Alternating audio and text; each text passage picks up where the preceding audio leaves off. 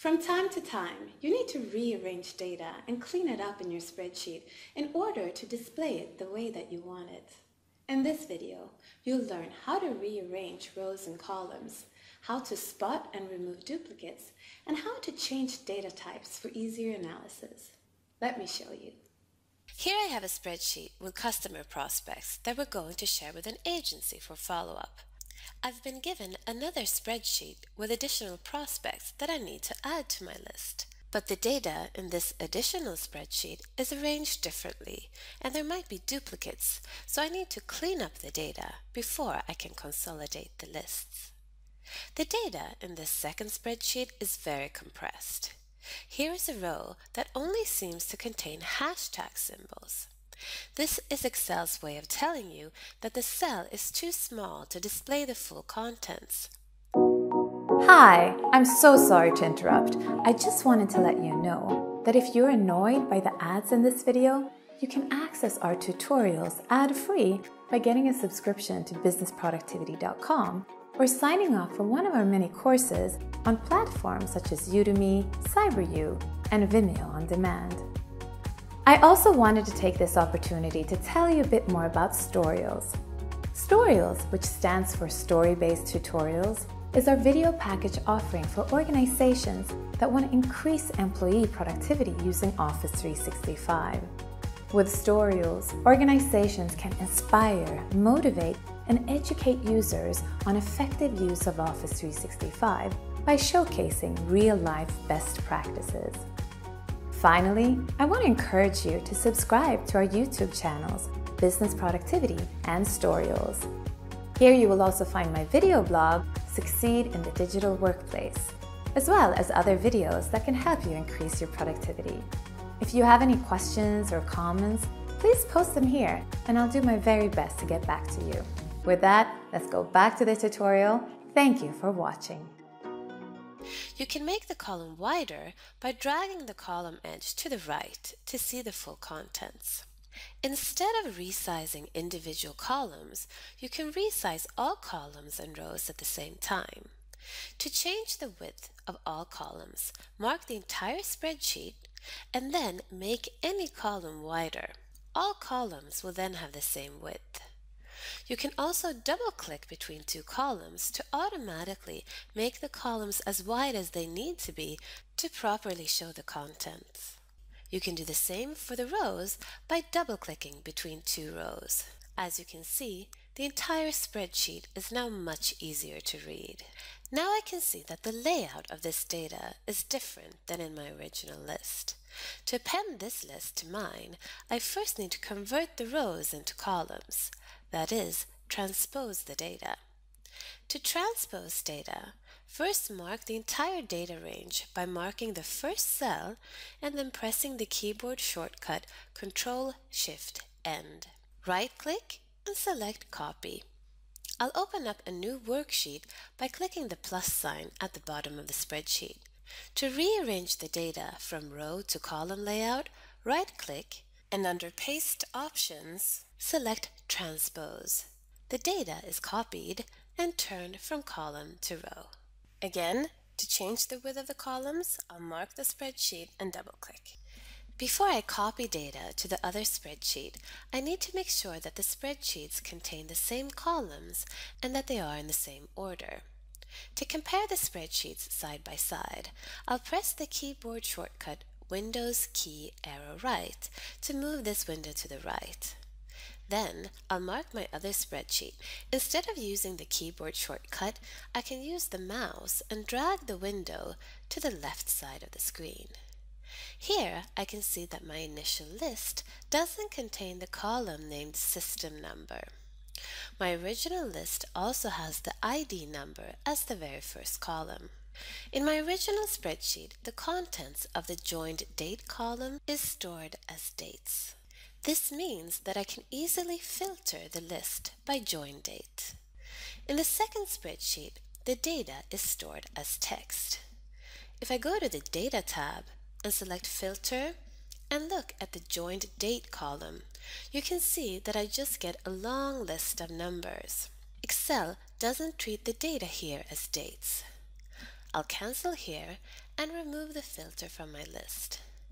To make the necessary fixes to the spreadsheet, I'll maximize the window again by clicking Maximize in the top right corner. To delete a column, right-click the column heading letter and select Delete. To move a column, mark the column by left-clicking the column letter. Move your mouse cursor to either side of the column until you see a cross. Hold down the right mouse button and drag the column to the desired position. Release the mouse button and from the menu select Shift Right and Move. The columns are shifted to the right to make room for the ID number column. To convert the data type of the joined date column from text to date, mark all cells that contain the text string by marking the first cell and then pressing Ctrl Shift arrow down on your keyboard. Click the Data tab and then in the Data Tools section, click Text to Columns. A wizard opens up that steps you through the process. In the first step, you're asked about delimiters. You don't have to change anything here, so click Next to go to the next step. In the second step, uncheck all delimiters, since the text string is all in a single string. In the third step of the wizard, you have the option to set the data format. Select Date and specify the format as year, month, and day, since this is the way the text string is written, and then click Finish. As you can see, the format of the join date column has now been changed. And if I click on the filter button, I can select to filter this column on a specific year or month. Now I can copy the data over to my original spreadsheet. Before I do, I'll save the changes to my spreadsheet. To copy the full data range, I'll mark the first cell under the heading row and press Ctrl Shift End on my keyboard. I'll right-click and select Copy. Next, I'll open up my original spreadsheet and go to the very end by pressing Ctrl End. I'll mark the first empty cell under my list, right-click and select Paste. To go back to the top again, I'll press Ctrl Home. Now I have all data consolidated in one spreadsheet. Now I just have to make sure that I don't have any duplicates. To easier spot duplicates, start by sorting your data on unique values. In this list, two people might have the same first and last name, but the ID number for everyone is unique. To sort on the ID number column, I'll mark a cell in this column. Click the Data tab and then sort A to Z. I can immediately see from just looking at the data that I do have duplicates. To make duplicates stand out even more, you can highlight them using conditional formatting. Mark the column where you want to highlight duplicates. In my case, it's the first column with the ID number. On the Home tab, click Conditional Formatting and select Highlight Cells Rules, and then Duplicate Values. Here you can select how you want the duplicates to be formatted. I'll just leave the default coloring, which is light red fill with dark red text. I'll click OK, and now the duplicates in my dataset are clearly visible. If I scroll down, I can see that I have even more duplicates further down in the list. To see all duplicates at the top, you can sort by color. Click the Data tab, and in the Sort and Filter section, click the Sort button. Instead of sorting the ID number column by values, I'll change the Sort On dropdown to Cell Color. In the Order dropdown, I'll select the red color, and then leave the default, which is on top. Now, all duplicate records are sorted on top.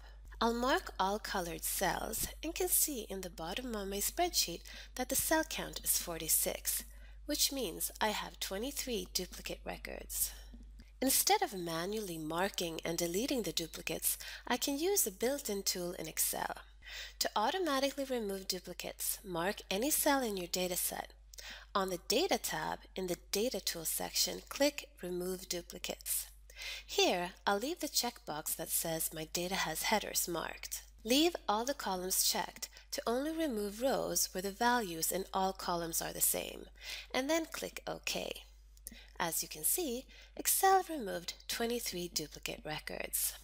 Now, I'll save this as a new consolidated list.